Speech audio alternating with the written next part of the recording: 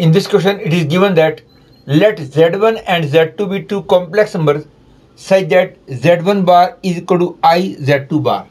Then argument of Z1 upon Z2 bar and argument of Z1 upon Z2 bar is pi. Then you have to find the correct choice.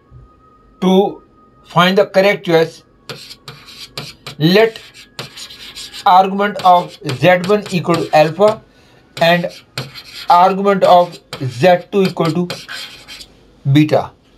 With the help of given information, I will find two relations between alpha and beta and from those two relations I will find the value of alpha and beta.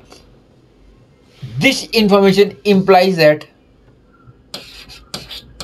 argument of z1 bar is equal to argument of i z2 bar. And we know that argument of z1 bar is minus of argument of z1 bar.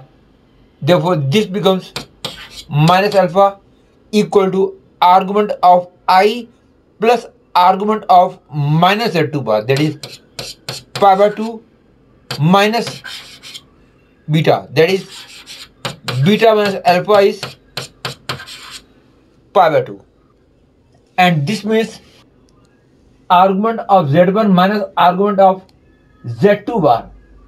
That is alpha minus minus beta is pi that is alpha plus beta is pi and beta minus alpha equal to pi by 2 alpha plus beta equal to pi